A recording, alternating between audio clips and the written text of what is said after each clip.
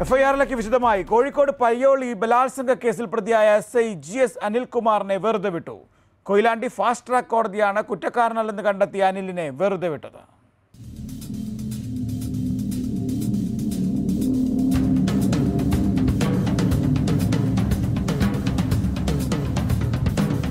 രണ്ടായിരത്തി പത്തൊൻപത് ഓഗസ്റ്റ് എട്ടിനാണ് ഭർത്താവിൽ നിന്നും അകന്നു കഴിയുന്ന പയ്യോളി സ്വദേശിയായ യുവതിയെ പീഡിപ്പിച്ച കേസിൽ S I G S Anil അറസ്റ്റിലായത്.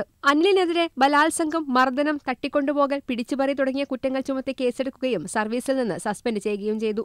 അനിൽ ഭീഷണിപ്പെടുത്തി പലതവണ പീഡിപ്പിച്ചെന്നും എതിർത്തപ്പോൾ കുഞ്ഞിനെ കൊന്നുകളയുമെന്ന് ഭീഷണിപ്പെടുത്തിയെന്നും യുവതി മജിസ്ട്രേറ്റിന് മുമ്പാകെ രഹസ്യമൊഴിയും നൽകിയിരുന്നു.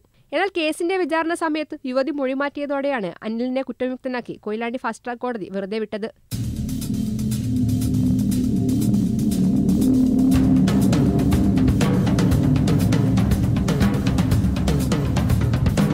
Asianet news Kozhikode